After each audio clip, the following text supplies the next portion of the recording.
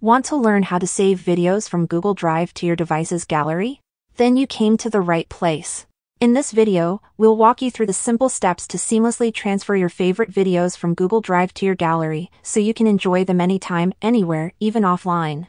The process is the same for both iPhone and Android devices, and you want to open the Google Drive app on your phone and then open the video which you want to save or download to your photo gallery.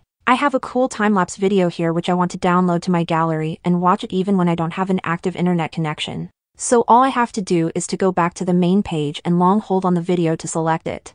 You can do this with multiple videos also.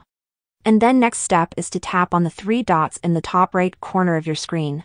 That's gonna open up this menu in which you want to scroll down and find this send a copy button. You want to click on that button and it will open your sharing menu where you can email the video, share it with a friend or family member and so on. But what we want to do is to scroll down a little bit and find this Save Video button. Tap that and just wait a couple of seconds or a couple of minutes until your video download.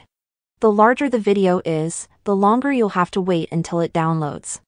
And after this step I'm gonna open up my photo gallery and I'll see that my video was successfully saved to the photo gallery. If you want more helpful tutorials like this one, make sure you subscribe to App Tutor and share this video with your friends or family members. Thanks a lot and I'll see you in the next one.